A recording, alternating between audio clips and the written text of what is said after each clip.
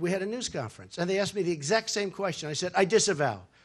Now, right after the program that we're talking about, and I thought it was clear, but you know, we're talking about groups, groups, groups. I do have to know the name of the group because who knows? I mean, they have to give me the name of the group. But right after, uh, when I reviewed it, I put out a tweet and I put out on Facebook that I totally disavow. Now, everybody knew I did that, but the press refused to look at that. It was right after. Uh, and I disavowed then. I disavowed today on ABC with George Stephanopoulos. I disavowed again. I mean, how many times are you supposed to disavow? But I disavow, and hopefully it's the final time I have to do it. But if you look at Facebook and if you look at Twitter, right after the show, I put out a statement because I want everybody to be sure.